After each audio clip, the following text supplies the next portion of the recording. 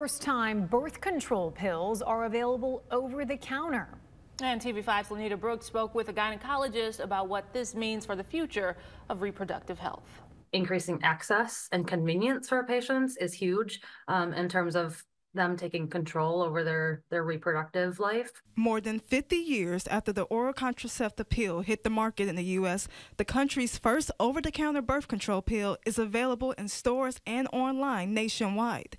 Experts believe the widespread availability will increase the amount of women who use contraceptives. And about half of women that um, are not using contraception and have unplanned pregnancies, um, they cite access to contraception, um, with being the primary reason that they weren't on contraception. The product is called Opill and is now available without prescription in major retailers and pharmacies like Amazon and CVS. The pill, which is 98% effective at preventing pregnancy, was approved by the Food and Drug Administration in July 2023. This comes amid a wave of legal battles over women's reproductive rights following the 2022 Supreme Court ruling to overturn Roe v. Wade. Since the decision, 14 states have banned abortion. Having a, a widely accessible and convenient option for them, um, I think, will be critical, um, especially in patients with limited resources, um, to prevent unplanned, untimed pregnancy, um,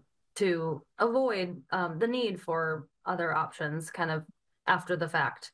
A one month supply will cost $20, a three month supply 50 and a six month supply 90 Over the counter medications typically aren't covered by insurance, but the company plans to offer a cost assistance program in the coming weeks to help low income women obtain the drug. Even if it gets them to kind of decide that, that birth control is right for them, um, then they can make the choice to either continue on with this option or um, make an appointment at that point to to see a provider for any other options that they could they could have. Lanita Brooks, WNEM TV5. And the drug is available in pharmacies and online. There is no age requirement to buy it.